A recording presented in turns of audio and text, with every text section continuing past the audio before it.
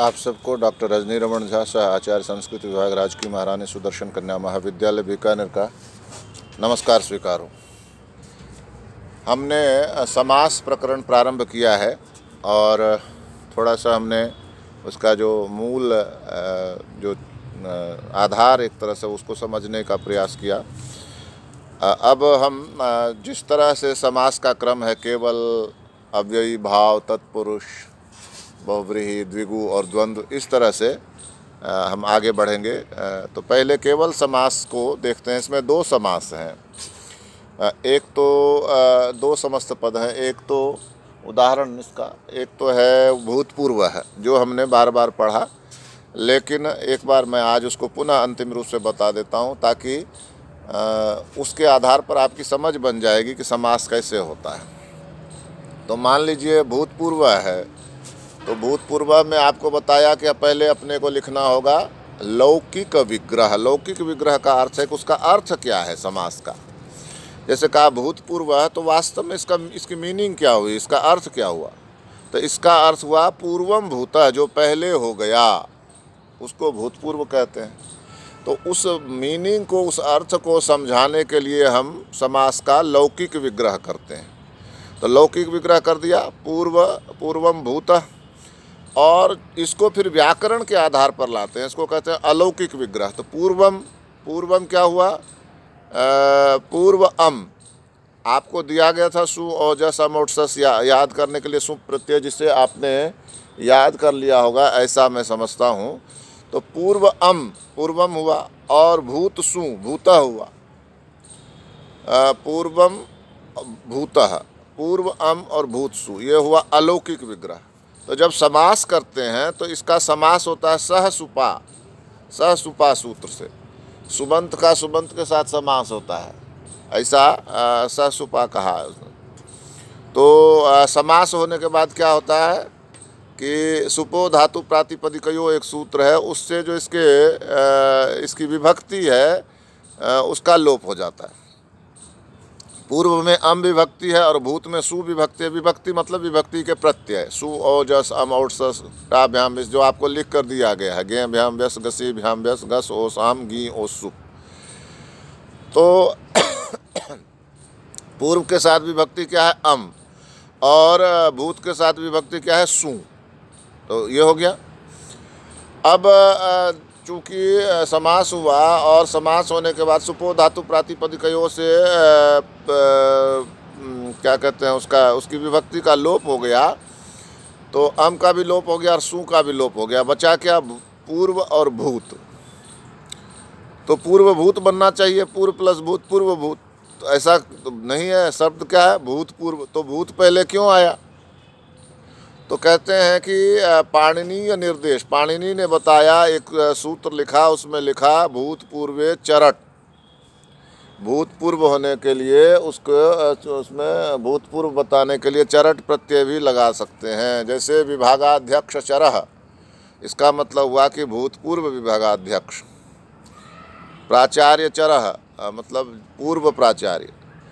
तो उस भूतपूर्व के लिए चरट प्रत्यय लगाते हैं, ऐसा कहा। तो पाणिनि ने कौन सा शब्द का उपयोग किया? भूतपूर्व का। पूर्व भूत का नहीं किया। तो इसी को निर्देश मानकर, चूँकि पाणिनि ने, पाणिनि के अष्टाध्यायी से ही हम पढ़ रहे हैं व्याकरण, ये तो आपको फ़र्स्ट ईयर में भी पता होगा।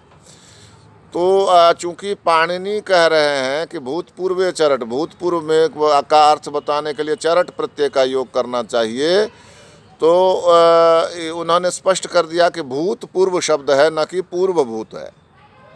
तो इसी के निर्देश से, इसी के बल से भूत पहले आ गया और पूर्व बाद में आ गया तो भूतपूर्व बन गया।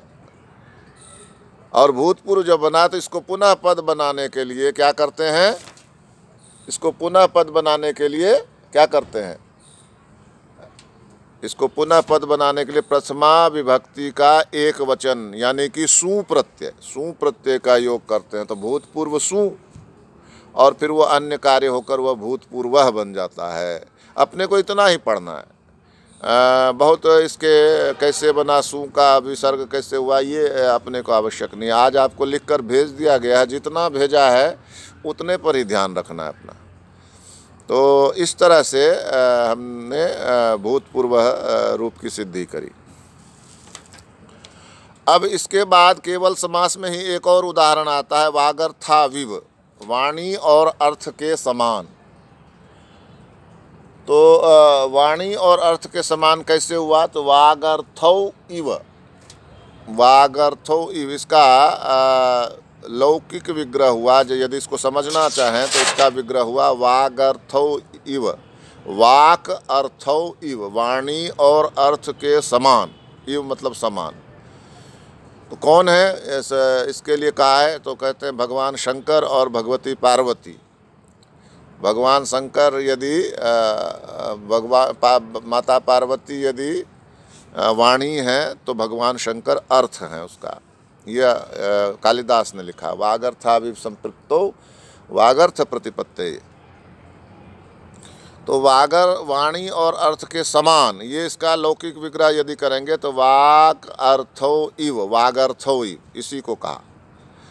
वाग और अर्थ क्या हुआ? वाक च, अर्थश्च, वाणी भी और अर्थ भी, वाणी और अर्थ दोनों, ये होते हैं वागर्थ, और वो द्विवचन में वागर्थो हो जाते जैसे बाल का बाल को होता है, वाक, वाचो, वाच, ऐसे होता है। तो वागर्थो हो गया, ठीक है? अब वागर्थो होने के बाद हमें यह देखना पड़ेगा कि वागर्थो इव वागर्थाविव वाणी और अर्थ के समान। अब वा, वागर्थाविव हो गया। अब क्या होगा इसके बाद? अलौकिक विग्रह। तो वागर्थो तो वागर्थो किससे बनता है? वागर्थो बनता है वागर्थ औ, प्रथमा का द्विवचन। वागर्थ औ, वागर्थ। और इसका समास किससे हो रहा है? ईव से। वागर्था, वागर्थौ का समास किससे हो रहा है? ईव से। तो वागर्थौ में वागर्थ औ, वाणी और अर्थ दोनों। वागर्थौ।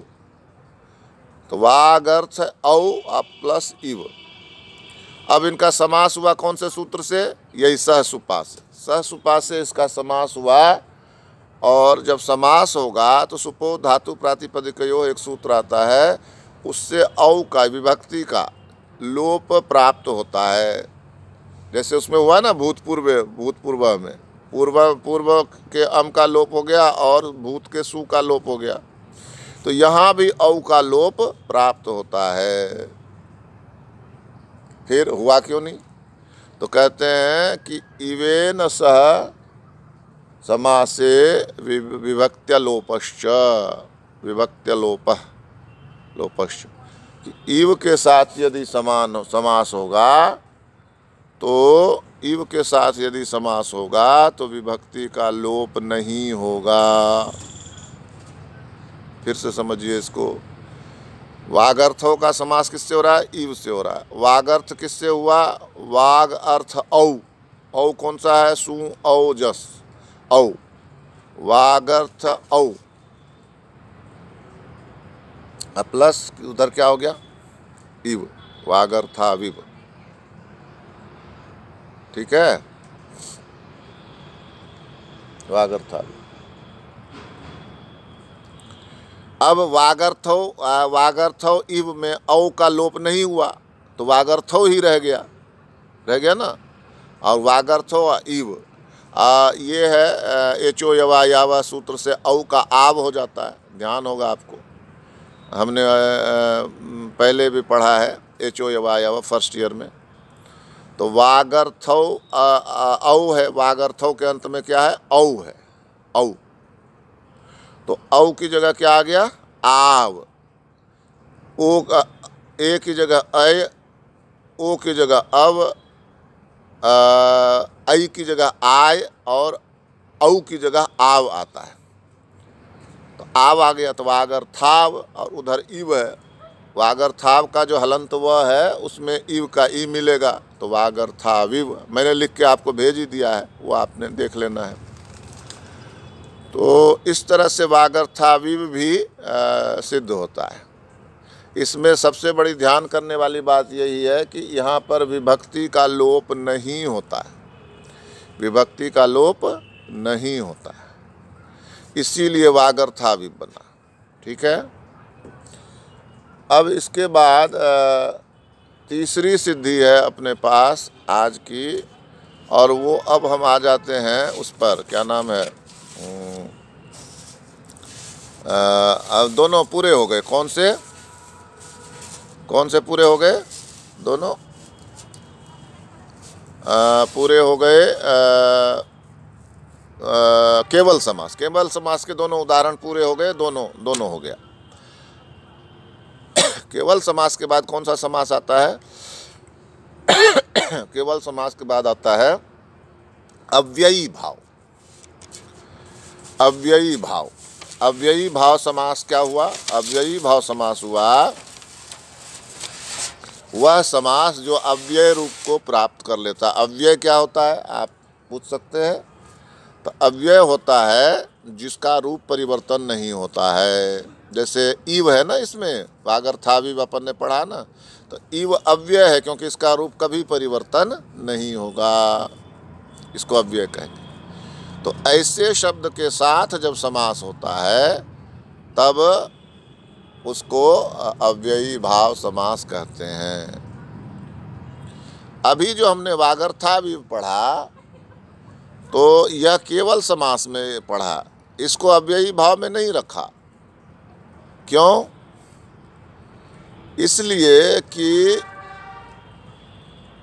वागर्था विव का जो समास हुआ, यह केवल समास इसलिए हुआ, अव्ययी भाव समास भी है यह, अव्ययी भाव समास भी। क्योंकि अव्यय के साथ समास हो रहा है।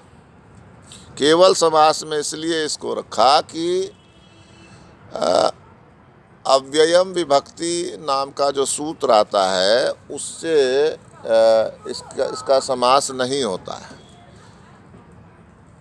अव्ययम विभक्ति में इसका समास नहीं होता है। सहसुपा से ही इसका समास होता है। इसलिए इसको केवल समास में ही रखा गया। आगे जब हम अव्ययी भाव समास पढ़ेंगे ना, तब अपने को समझ में आने लगेगा कि यह किस तरह से अव्ययी भाव समास में नहीं आता। तो वागर था अब यहाँ अव्ययी भाव समास का देखते हैं। एक रूप है, पहला, सबसे पहला रूप हम पढ़ते हैं, अधिगोपम, आपको भेजा हुआ है। अधिगोपम क्या हुआ? गोपा कहते हैं गो, गोपालक जो स्त्री है, गाय का जो पालन करती है जो महिला, उसको गोपा कहते हैं, गोपा। और जो पुरुष है, उसको क्या कहते हैं? उसको कहते हैं गोप गोप। गोपा और गोपह और गोपी क्या होता है? गोपी होता है गोप की पत्नी, ग्वाले की पत्नी या बेटी। दोनों में अंतर है, समझिए, गोपा और गोपी गोपा वह स्त्री होगी जो स्वयं गाय का पालन करती है और गोपी वह स्त्री होगी जो गाय का पालन करने वाले की पत्नी है, बेटी है, बहन है। इस तरह से। वह गोपी होगी तो अपने को यहाँ पढ़ना है, गोपम अधिगोपम। तो गोपा अधिगोपम में लौकिक विग्रह क्या होगा? तो कहते हैं गोपी। गोपी मतलब सप्तमी एक वचन में गोपा का रूप बनता है गोपी। क्या रूप बनता है? गोपी। गो अपा में छोटी की मात्रा। गोपी मतलब जैसे वृक्षे, वृक्ष पर उसी तरह से गोपी मतलब गो गोपा में गोपा पर। जैसे कहें कि गोपा पर आ, क्या है दूध की धार पड़ी है ना? गाय दूह रही थी और दूध बहुत ज़्यादा निकल गया उसके चेहरे पर छिट्टे पड़ गए। तो क्या हुआ? गोपा पर गोपा में मुझमें अनेक गुण हैं गोपा में अनेक गुण हैं है ना? तो वहाँ पर अधिकरण है। तो अधिकरण यानी कि सप्तमी है गोपी में। तो सप्तमी में कौन सा प्रत्यय आता है आपको यदि याद हो? घी प्रत्यय, सप्तमी एक वचन में घी प्रत्यय आपको दिया था लिख के सू ओजस तो आपने याद किया होगा ऐसा मत। तो क्या हो गया? गोपा घी और प्लस अधि। सप्तमी को बताने के लिए अधि शब्द का प्रयोग, अधि उपसर्ग का प्रयोग आता है। तो गोपा घी प्लस अधि, अब समास हो गया तो घी का लोप हो गया। कौन से सूत्र से समास होता? अव्ययम विभक्ति सूत्र से आपको लिखा हुआ। और उपसर्जनम पूर्वम से अधि पहले आ जाता है। तो अधिगोपा हो गया। अधिगोपा का आ जो है वो अ हो जाता है तो अधिगोप हो गया। तो अधिगोप रूप बनता है। अब इसको पद बनाने के लिए प्रथम पुरुष का प्रथमा का एक वचन सू लाते हैं। और सू की जगह पर अव्यय नपुंसक में अम हो जाता है और इस तरह से अधिगोपम रूप बनता है। तो आज अभी इसको, इसी तरह से रखिए। कल इसको और अच्छी तरह से समझेंगे। धन्यवाद।